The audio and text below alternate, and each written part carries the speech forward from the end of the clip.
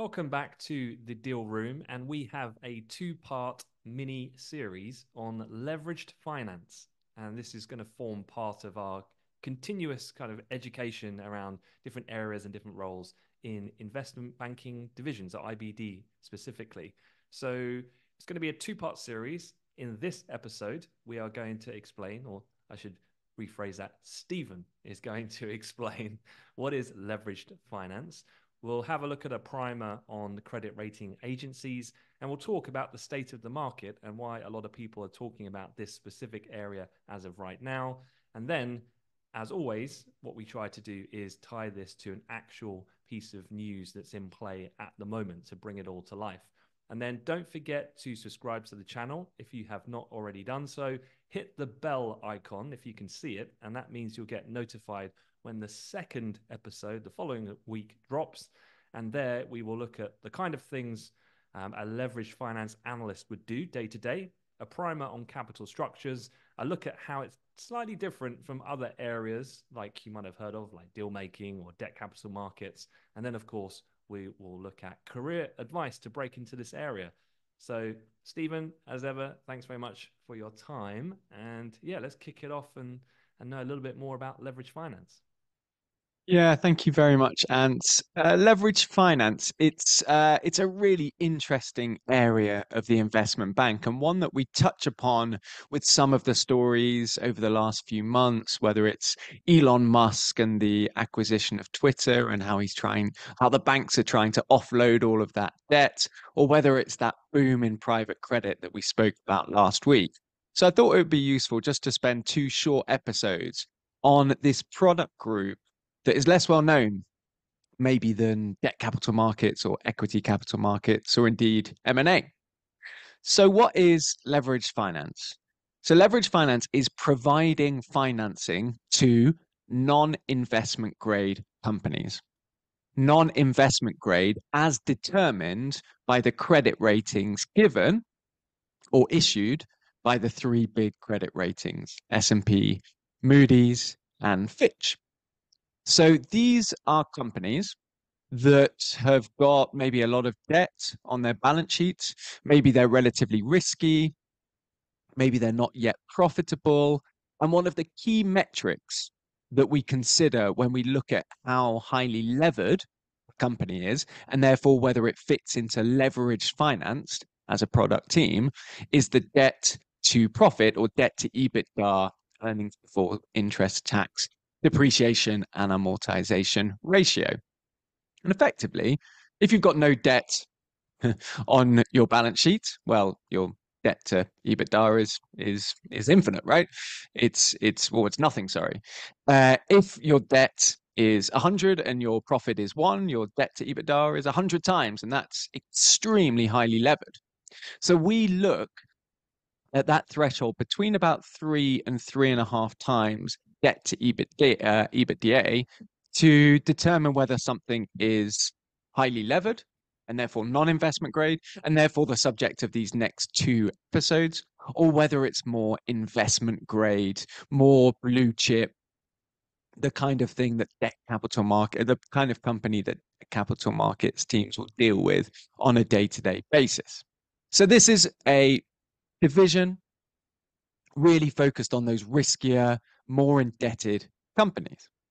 So, what are the types of companies that the leverage finance team will deal with? Where it's these risky companies, and what do they want to do? Well, maybe they want to borrow money for a significant acquisition that will make them heavily indebted.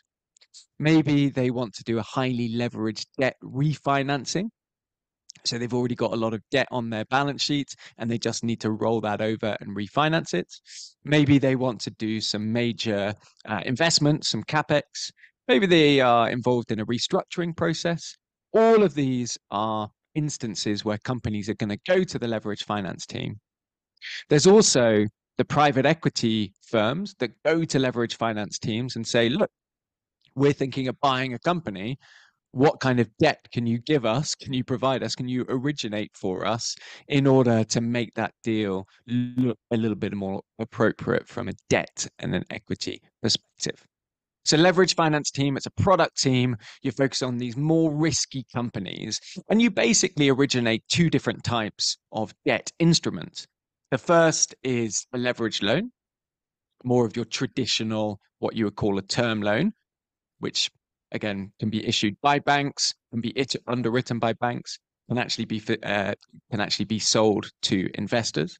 And then the second is high yield bond issuance, exactly the same as investment grade bond issuance that we see in the debt capital markets teams, but obviously it is some sub investment grade, so it comes with a lot a lot higher coupon and more highly levered high yield bond terms.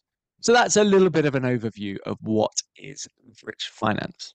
Cool. I was just writing down a few questions, if I may, as you were yeah, explaining that. So, first things first, like we did on the episode about Fig, and w- what I'll do is I'll, I'll put some notations in the episode show notes of some of the things like you mentioned high yield, investment grade. I'll drop all of those so that people can just go immediately to it and see all of these words if they're unfamiliar with them. My questions are so this type of area would it be all banks are doing this? Is it only just big the biggest financial institutions that are offering this uh, these products? So who would be typical names we're talking about? Yeah, so this this is the big banks that are doing that are doing specifically leverage finance. And when I see big banks, I mean all of the bulge brackets and probably the second tier banks as well. Now, specific dedicated leverage finance teams, their goal, unlike um, syndicated debt teams, and I know it gets a little bit complicated, the goal of a leverage finance team is to help originate these loans, but then pass them on to investors, right? They don't want to hold this debt on the bank's balance sheet. So it's more of a capital markets type activity, and therefore it's more suitable for the bulge bracket investment banks. The smaller banks actually might want to buy a tranche of this debt that gets resold um, by the leverage finance team, but it's mainly the big t- and and it's it's mainly the likes of Morgan Stanley and J.P. Morgan that you'll see on these big leverage finance originations. And, and just a bit of context, because something that I really enjoyed when you were explaining, um, I think it was debt capital markets, was just how massive it is in terms of the transactions, but also the revenue it brings for a bank. Where would this fit within? Like, how do the fees work, and how much income does this kind of bring in for those bulge yeah. bracket banks? Yeah, this is really interesting. So it sits somewhere in terms of fees per percentage fees. It sits somewhere in between debt capital markets and M&A slash ECM. The deals are harder to do. They're more interesting because you're often dealing with slightly idiosyncratic, complex companies that maybe have been performing badly for a while. So the so the difficult the fees are commensurate with the difficulty of getting a high yield bond away in the secondary market, getting a leverage finance issuance out. And we'll talk next week about all of the different types of debt that you can provide, all of the different tranches and the complexity around capital structure. So, yes, the fees are higher relative to get debt capital markets mm-hmm. but the volume of issuance is lower. So overall, the overall fee take is probably higher in a debt capital markets team because there are more investment grade companies and governments issuing more bonds. So that kind of flow fee is higher in debt capital markets.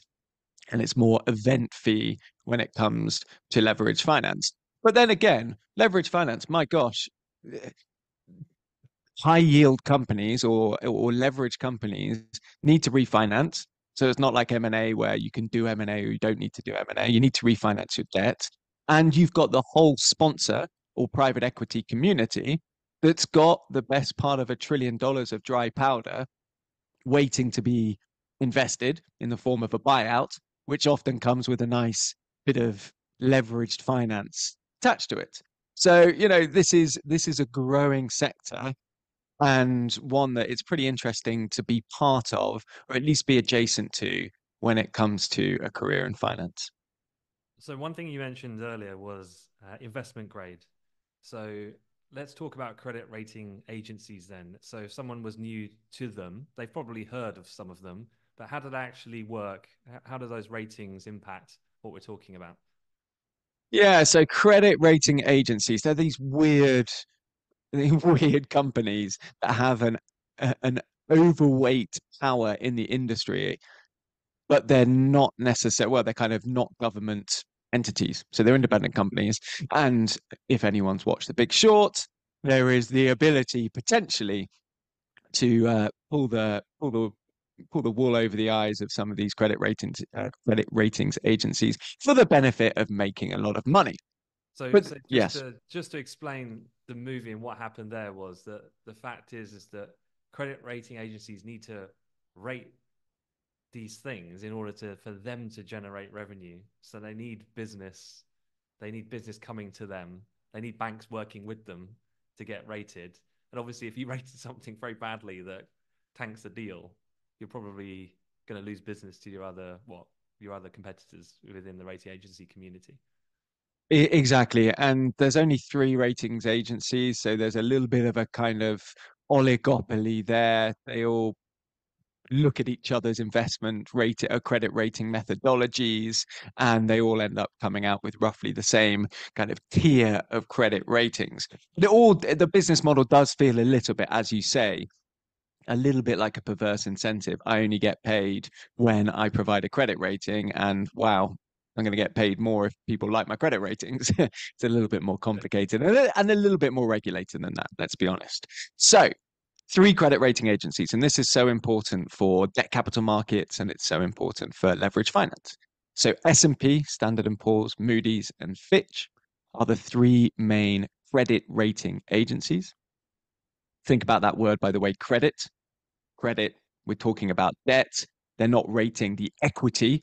You, know, you don't look at the rating agencies when you're thinking about buying the equity of a company because credit is all about lending and are you going to get your money back? Equity is all about upside, and we acknowledge that there is risk of losing your all eh, of your money there. So we're really specifically dialing in on debt. So credit ratings, investment grade credit ratings for S&P, anything above triple B. So you have you go from triple A, which is the highest possible rating. I'll do a little quiz later to see if you know who might be AAA rated, uh, all the way down to triple B within that investment grade, which means that they can get investment grade bonds away in the market, which is great because loads of investors, think pension funds, um, mutual funds, etc., only invest in only invest in investment grade debt. Moody's, the highest is uh, AAA, but with a capital A at the beginning. just to be nice and confusing, they go down to BAA. Underneath this kind of this line, this line that is very, very hard to traverse, is speculative grade. So anything below a triple B, i.e., a double B plus and below, all the way down to a D for S&P, and anything below a B A BA plus, all the way down to a D for Moody's. That is speculative, non-investment grade, high yield junk. That's again, like with a lot of things in finance, we have a lot of different words for the same thing, hmm. but it's all. It, this is the domain in which leverage finance teams play. So if you come to me with an Apple bond issuance, well, put it into the investment grade, put it into debt capital markets. You come to me with a speculative high yield triple C rated company that's trying to get a bond away or a leveraged loan issuance. That really is the domain that we're talking about today. And actually, I'll tell you what, I'm going to give you a quiz. I'm going to give you a credit rating quiz. I'm going to, I'm going to make it relatively easy to start off with. I'm just going to say, I'm going to say name of a company, round one going to say the name of a company, and you're going to tell me whether you think it's investment grade or whether you think it's junk or high yield. Okay? Yeah. We'll start off with an easy one. Alphabet. Investment grade or junk? Investment grade. Definitely investment grade. Do you know what it is on a uh, from an S&P perspective? Would you remember AAA is the highest? AAA. Double A. So pretty, pretty good. The second highest. And again, you can have double A plus, double A minus. So there's a variation, but it's a it's a solid double A. Apple's triple A, isn't it? So I think I, I think why... it's down to double A plus now. Oh, okay. And the reason why it might have gone from triple A to double A plus is when looking at these, when looking at a particular issuer, for example, Apple, the ratings agencies will look at three different areas. It will look at the country risk, it will look at the industry risk, and it will look at the company risk. And the company risk is going to be split into qualitative things, like, for example, with Apple, impending regulation and lawsuits across Asia and across Europe, and quantitative metrics, for example, it's leverage ratios, it's debt to EBITDA, it's profit margins, it's debt to equity, it's cash flow to debt, all of these different things it will look at. And it will uh, put it all into a big into a big file and it will come out with a number. Yeah, that's really nice way to remember actually. So country, industry, and company in terms of the three key criteria. Absolutely. Absolutely. So next one, Ford, Ford Motors. Ooh, I mean, you'd like to say what's American, you know, historic household name. I, I, think it's a trick question. So, like, you would lean into investment grade, which means it probably isn't. Non-investment grade. It's a double B plus from a uh, from an S and P perspective. Really close to investment grade. So how much, like, when you're one threshold away from being junk to uh, investment grade, how much of an impact would that make to Ford? Massive. It would make a huge impact. It would affect the. It would affect demand for their issuances. It would. It would affect the coupon. You're suddenly paying a much bigger premium. There are slightly different terms in the way that high yield um, leverage loan goes out relative to an investment grade loan. So yeah, it's weird that it's only one different. It's only it's probably the biggest chasm to jump. Easier to jump between A and double A than it would be between non-investment grade and investment grade. So strategically, do you think that Ford would have a team with their task is to get it up and try to work with the credit rating agency to get back into that? Oh. Definitely, definitely. They will be they will be working really, really hard. And it's a wonderful moment for a finance team within a company where they go from non-investment grade to investment grade. And that happens with as you know, these tech companies grow from being very speculative to being a little bit more consistent to being a little bit more blue chip. To that extent, next question. Netflix, investment grade or junk? I'm going to go junk. So if I had asked you that, I think two years ago, you would be right. But it has now gone into the investment grade space. Wow. It's now triple B plus in uh, from an S and P perspective. So that means again, Netflix is playing with the big boys. It's an investment grade company. It gets access to these better terms and larger liquidity pools or pools of money. What about Tesla?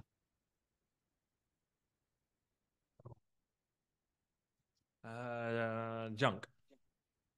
Again, I, I was it May 20 or March 2023 that it got upgraded from from non-investment grade to investment grade, and everyone everyone oh, went a little bit crazy. crazy. That, yeah, there was going to be lots of portfolio inflow, wasn't it, where people were going to be buying into. Yeah, now now you say it, I remember that. Yeah. Yeah, so it's it's it's now triple B. But interesting enough, and just as a kind of nuance uh, that's important to understand, these credit rating agencies rate the issuer so they'll rate Tesla as a company, but they'll also rate the instrument. So you can issue a debt instrument, so a leverage finance debt instrument, a high yield bond or whatever it might be, that will receive a lower credit rating, maybe because the terms of that instrument are a little bit more risky, it's subordinated to another piece of debt within that company's profile. So actually a lot of Tesla's debt issuance is sub investment grade. I'm not going to go too far into the details there, but it gets a little bit complicated. And this is a massive industry with a degree of complexity that you'll get your heads around uh, if you work in this industry. What about countries? Let's let's uh, you know countries issue debt; they have credit ratings. So let's start with the uh, with the UK, an easy one. Yeah, UK's got to be not not AAA, just not that good anymore. Probably were, yeah, in a bygone era. But so yeah, probably double A. Yep, double A. So again, would be AAA if its debt to GDP was a lot lower, if its economic growth was higher, if its productivity was higher, etc. What about Brazil? Uh, investment grade, non-investment grade. Yeah, I guess this is between developed and um, emerging markets. So anything that falls out of developed world economies has got to be junk. Double B into the junk zone. So you're absolutely right. Again, massive economy, but heavily indebted, a great deal of risk associated, political risk, etc. What about India? Probably the same junk because you just said there um, they probably need debt to grow, and also the political risk is, I'd say, is pretty significant. Triple B minus, i.e., it's just investment grade, which surprised me a little bit. So again, fast growing economy, more political stability, I would say, erring on the side of authoritarian, uh, and and some really interesting economic growth stories there. So it's just eats its way into investment grade. Uh, last question: Do you know any countries that are AAA? Yeah, I was just thinking. I knew this was coming. I seem to think like Australia or somewhere like that was tri- AAA.